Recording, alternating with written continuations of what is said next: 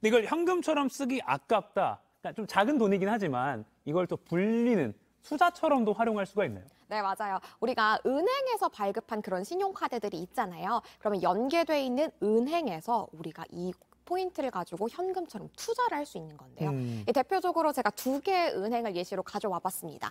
어, 신한카드, 신한은행에서 만든 카드 같은 경우에는 이 포인트를 가지고 IRP 계좌로 입금을 할 수도 있습니다. 어. 최소 만 포인트부터 천 포인트 단위로 설정을 해서 내가 미리 설정해둔 금액이 쌓였다. 그러면 자동으로 IRP 계좌로 들어가게 되는 거죠. 아, 그러니까 포인트를 뭐 계좌 이체할 이런 거 필요 없이 네. 자- 설정만 해놓으면 자동으로 가는 거예요? 맞습니다. 아. 그리고 하나은행에서 만든 하나카드 같은 경우에는 포인트로 금투자까지 할수 아. 있는데요.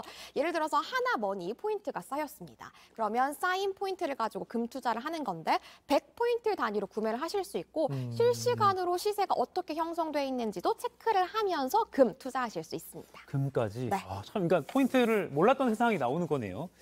연말입니다. 이 포인트로 기부도 가능합니까? 맞아요. 이 포인트를 꼭 나를 위해서 사용하라는 법은 없잖아요. 이 좋은 일에 활용할 수도 있는데요. 네. 카드사의 앱을 활용해서 바로 기부하는 것도 가능하고 음.